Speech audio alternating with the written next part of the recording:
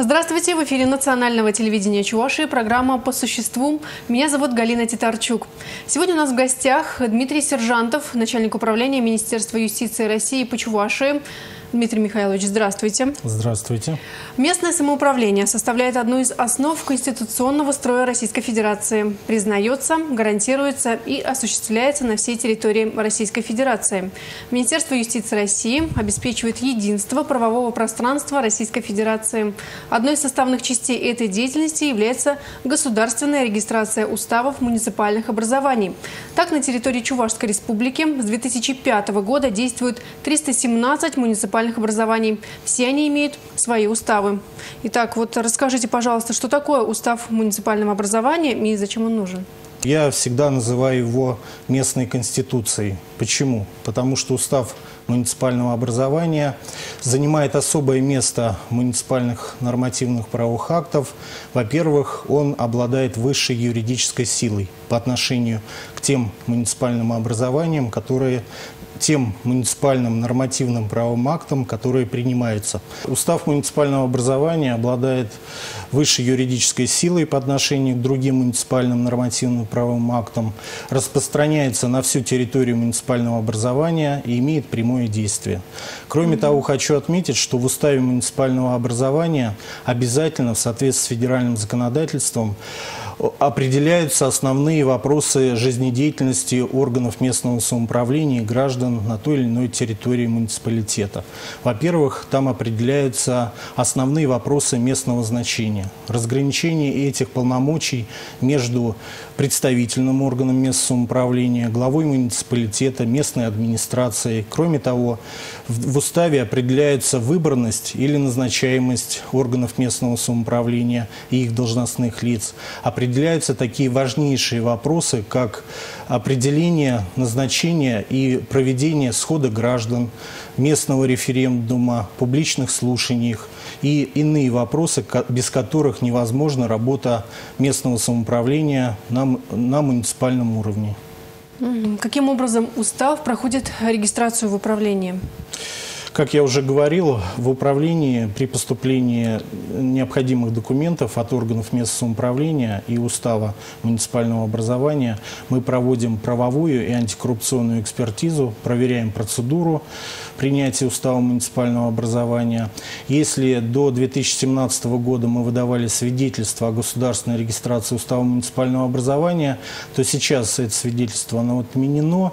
Мы проставляем на лицевой стороне устава специальный штамп штамп, где угу. присваиваем номер государственной регистрации уставу, дату государственной регистрации, заверяем это подписью должностного лица управления. Кроме того, управление ведет специальный государственный реестр уставов муниципальных образований, в котором э, помещаются все необходимые, размещаются все необходимые сведения о государственной регистрации устава муниципального образования.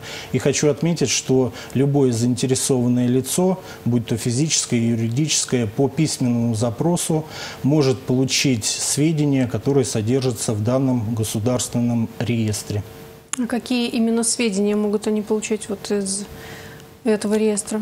Как я уже сказал, э, прежде всего очень важна дата государственной регистрации, регистрационный номер, но также там содержатся и дополнительные сведения. Например, туда включается решение представительного органа местного самоуправления о принятии устава муниципального образования.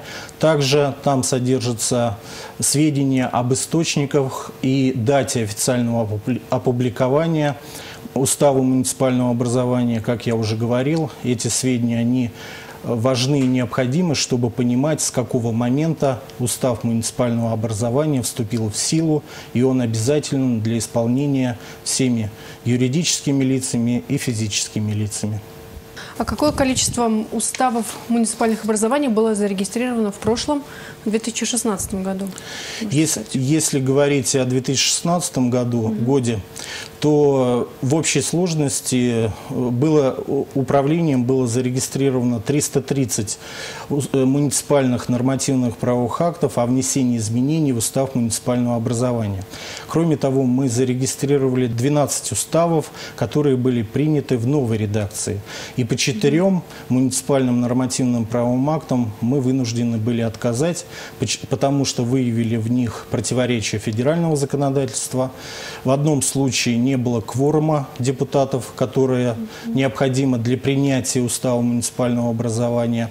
И в одном случае мы выявили, что проект устава муниципального образования не был э, публично э, опубликован, тем самым у граждан не было возможности высказать свое мнение по данному вопросу, согласны они с принятием тех поправок, которые необходимы или нет.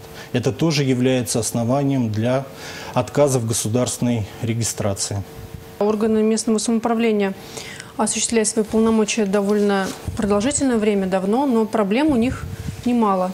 Как э, оказывается ли управление помощь органам местного самоуправления Какая вот об этом подробнее? Действительно, э, местное самоуправление у нас действует ну, в том формате, в новом, в котором создано федеральным законодательством с 2005 года. Но, несмотря на это, федеральное законодательство не стоит на месте, оно постоянно совершенствуется, и это приводит к тому, что постоянно нужно вносить изменения в уставы муниципальных образований, чтобы привести его в соответствие с федеральным законодательством, mm -hmm. чтобы привести выборы выборы в органы местного самоуправления. И мы заинтересованы в том, чтобы Устав муниципального образования своевременно приводился в соответствие муниципалитетами. Кстати, с 2017 года установлен конкретный срок приведения уставов муниципальных образований в соответствии с федеральным законодательством. В течение шести месяцев устав муниципального образования должен быть приведен в соответствие. Для этого мы совместно с органами исполнительной власти Чувашской Республики, Минюстом Чувашии, администрацией главы Чувашской Республики периодически готовим готовим модельные, доку... модельные уставы, э, разрабатываем типовые документы. У нас на сайте э, Управления Минюста России по Чувашской Республике есть специальная рубрика постоянная о государственной регистрации уставов муниципальных образований, где органы местного самоуправления могут почерпнуть э, всю нормативную правовую базу по этому вопросу, все модельные уставы, о которых я сказал, посмотреть перечень документов, которые необходимы для госрегистрации. Кроме того, наши сотрудники на системной основе участвуют в курсах повышения квалификации муниципальных служащих в высших учебных заведениях нашей республики, где мы тоже разъясняем процедуру принятия государственной регистра... и государственную регистрацию устава муниципального образования. И кроме того, мы с органами местного самоуправления настраиваемся на такую работу, что перед тем, как принимать устав муниципального образования, чтобы они присылали в наше управление еще проект устава муниципального, чтобы мы на стадии э, проекта устранили те возможные замечания, которые есть в уставах муниципального образования, и чтобы они уже приходили к нам в чистом виде, юридически чистые, чтобы не было других нарушений, Дмитрий Михайлович, спасибо большое за то, что нашли время, пришли в нашу студию, рассказали о таких непростых вопросах. Я думаю, что мы с вами еще не раз встретимся в эфире национального телевидения Чувашии. Спасибо вам. А я напоминаю, это была программа «По существу». Меня зовут Галина Титарчук. До встречи в эфире.